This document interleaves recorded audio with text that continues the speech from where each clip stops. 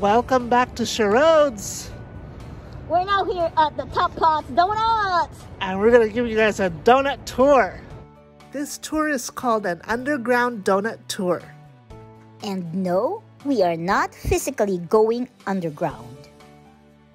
Underground means the mom and pop shops, the hidden gems, the unknown shops.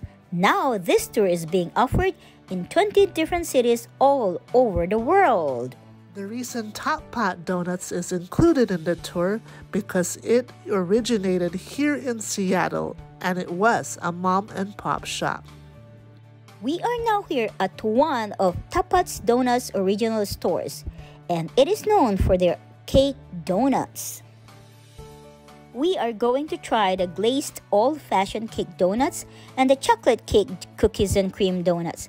The glazed donut, I like its sweetness and how it looks, but I am not a fan of the texture. The Oreo chocolate donut, I enjoy the Oreos, but once again, I'm not fan of the texture. I really enjoyed eating the Oreo donut. It had a cake-like texture. This donut reminded me of a cookies and cream ice cream. I also like the glazed cake donut. It had the right amount of sweetness. Our next stop is Dahlia Bakery. This bakery is owned by Tom Douglas. This is going to be my very first time trying a beignet. These beignets are considered underground because they are not on display. There are two toppings to these beignets. The first one is a strawberry jam. The other topping is vanilla bean infused mascarpone cheese.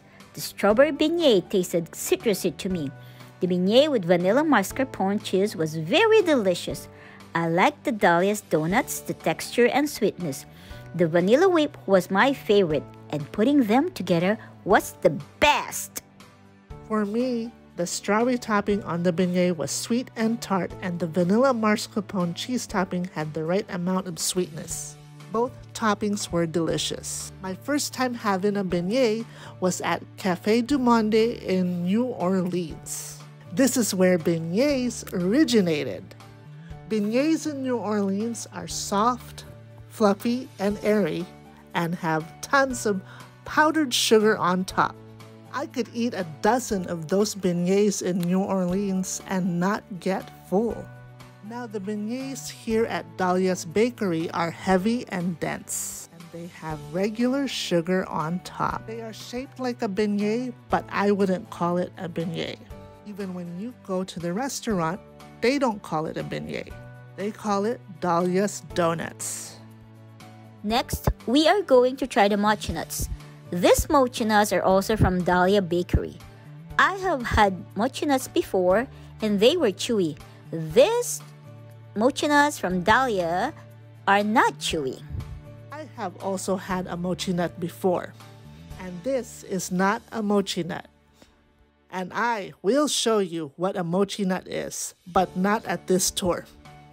Our very last stop is at Daily Dozen Donut Company, which is located inside a famous Pike Place Market.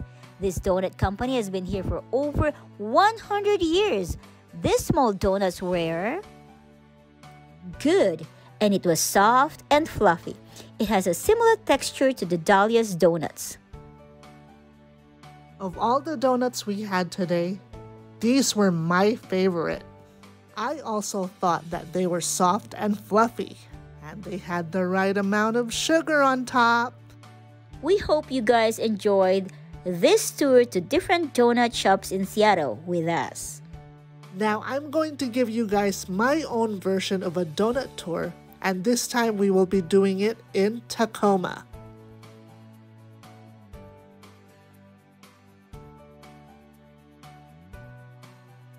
Hello everyone, we are now here at the Tacoma Lakewood area and we're going to start right here at the original House of Donuts.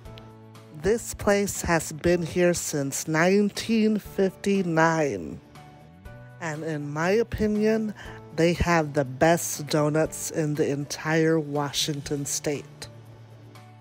Now for National Donut Day, I ordered two donuts. The first donut is their original glazed donut, and the other donut is their chocolate donut.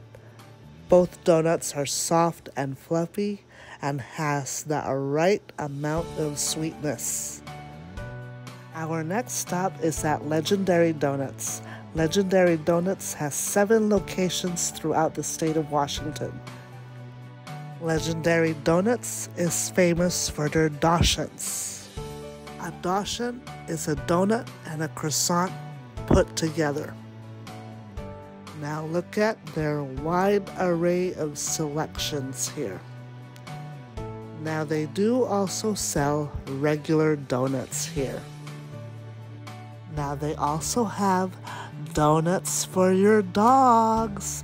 And yes, I will be buying some for Prince and Hudson. So I ordered four Doshans. The one on the top left is the Raspberry Doshan. The one on the bottom left is the Conan Bavarian Doshan. And then the two on the right is the Salted Caramel Doshan. The salted caramel doshan had a good balance of salt and sweetness. I really like the soft buttery dough. Next, I tried the raspberry pull-apart doshan. The raspberry was sweet and tart at the same time. The dough was very soft, and I really like this donut. Now I'm going to try the Conan the Bavarian Doshan. The chocolate frosting on top was really good. Although I'm not a fan of cream-filled donuts, I like this one because it wasn't very sweet. We are now here at Mochi Nuts in Tacoma. There are four Mochi Nut locations here in the state of Washington. The other locations are in Tukwila, Lake Union, and Edmonds. They sell a huge variety of flavors of mochi nuts. They change the flavors every week now I ordered three flavors and it came in this Christmas looking box, but it's no longer Christmas. The flavors that I ordered are chocolate, glaze, and ube. The chocolate was really good. The dough of a mochi nut is made of coconut. The taste of the chocolate and the coconut really blended well together. Now I will try the glazed mochi nut. This has a chewy, sweet texture, and I taste more of the coconut in this.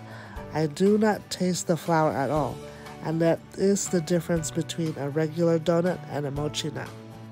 Now I'm going to try the ube crunch.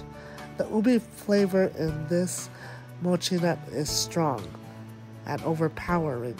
To me, that is good because I really love ube. This one was my favorite of the three flavors.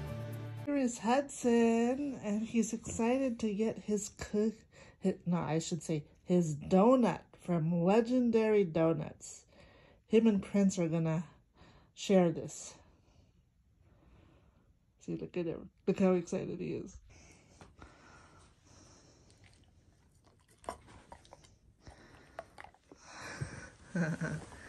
Happy dog.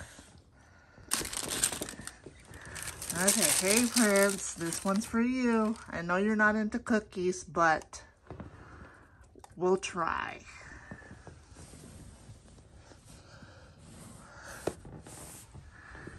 Now, of course, if Prince doesn't want it, then we give it to Hudson.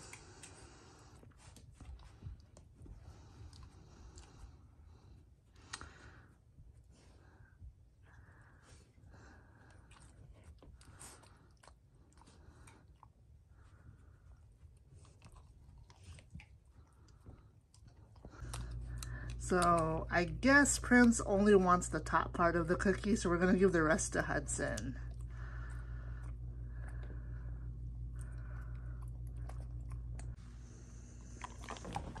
Okay, good boy, Hudson.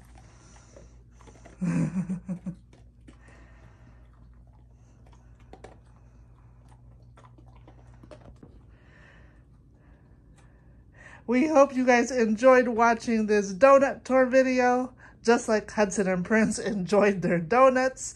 And so did Rhoda and I. We enjoyed the donuts we had. Stay tuned for our road trip series. And sorry, Hudson, you don't get to go with us, but we will see you on our next video.